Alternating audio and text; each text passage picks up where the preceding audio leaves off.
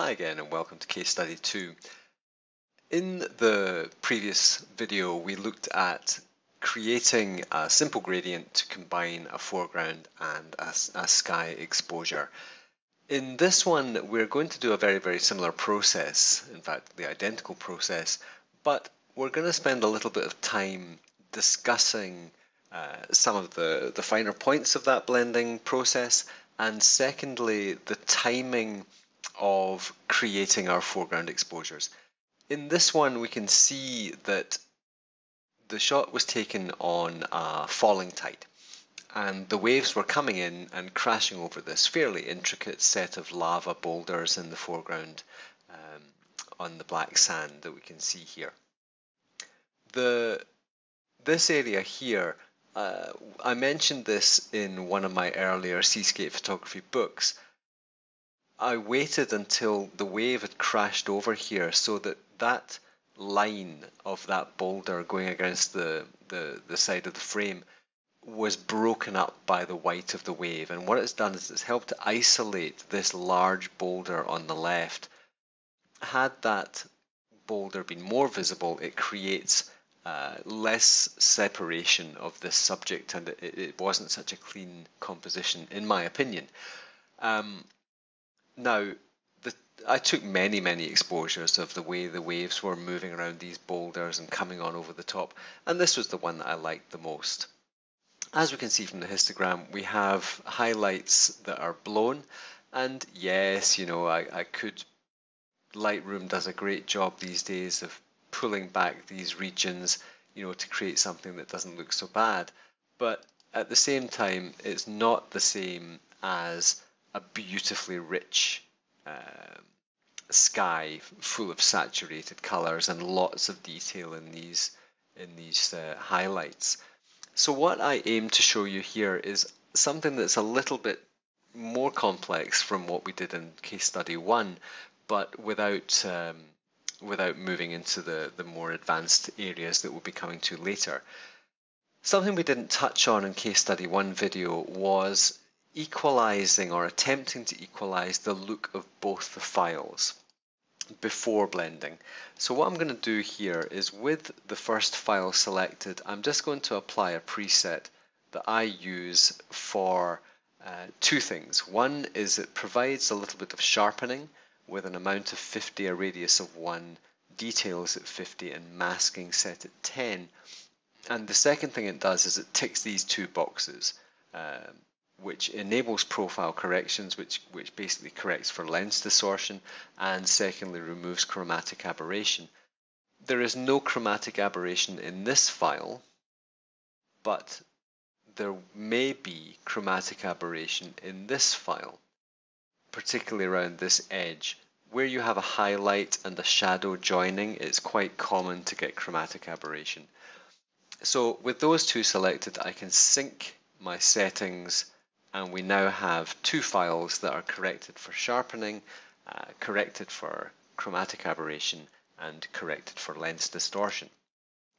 Now, what I want to discuss is if I go ahead and blend these two exposures, the foreground is significantly brighter than the sky. And what I want to do is create a file that's holistic, you know, tonally consistent is the phrase that I like to use. So what I'm going to do in this file is have a look at this histogram and work on the assumption that I can brighten it a little. So I can brighten that by a stop. Let's let's say let's say 0.85 of a stop. I'm not getting to the stage of that being pure white. But what I can do is open up some of these shadows a little bit, but without creating any halos. And we end up with a file that's just a little bit more detailed and a little bit brighter than the, the previous version, but also we want it to be able to blend in with this one a little bit cleaner. This one too can do with a little bit, we can maybe down the exposure a fraction. continue with our shadows being opened up a little bit. Pull our whites down a fraction. Maybe open up our blacks a fraction. And by doing this, by doing this in Lightroom, we're working in a non-destructive environment because by the time we move it into Photoshop, anything we do with that TIFF file, that 16-bit TIFF, is destructive. You can even get to the stage where you can say, right, I'm actually going to pull down this sky a little bit with a gradient. And even though we've still got, well, they're not blown anymore, but they're certainly fairly featureless. Um, we now have two images that are tonally much closer together than they were at the start. From now on in, we're in very familiar ground. We edit and open it as layers in Photoshop, and we're going to repeat exactly the same process as we did the first time. But the difference being that in these two exposures, we've gone to the added um, the added uh, step of trying to create two images that look as if they're meant to go with each other. So again, our two layers, we create our simple mask with our gradient tool, we draw our line, hold down the shift key, and we now have a situation where we have two images that really do go together quite well. However, we will notice that where, because we have moving waves in this situation, if we look at the, the bottom file, we've got this lovely breaking wave, but on the top file, we're getting pollution from the top image.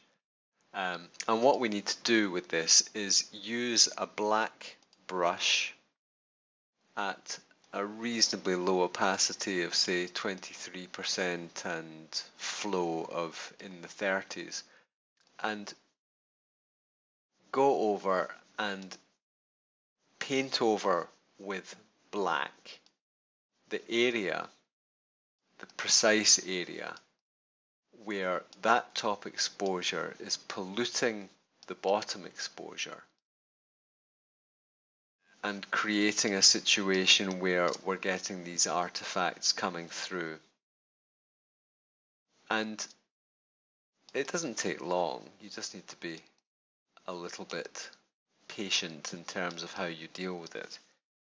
But if we now zoom out, we can see that we have a nice clean section from the bottom image that is not being polluted by the top image You can just carry on with that. I mean, you know, the thing with any of these types of things is you can just in increase the opacity a bit more to, to do it a bit quicker.